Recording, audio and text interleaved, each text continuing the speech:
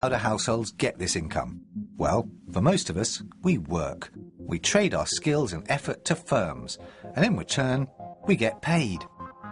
In economic language, we offer whatever factors of production we each have to firms in return for an income in the form of wages and salaries. Now, some more entrepreneurial households sell other factors of production in return for rent or interest or company profits. But for most of us, we trade our labour for a salary. Using our circular flow model, we see that households derive income by making factors of production that they possess available to firms. Firms then use these factors of production to produce goods and services. In return for the use of these factors of production, firms pay households, and this payment we know as income. For most households, income consists of the wages and salaries they receive in return for their labour.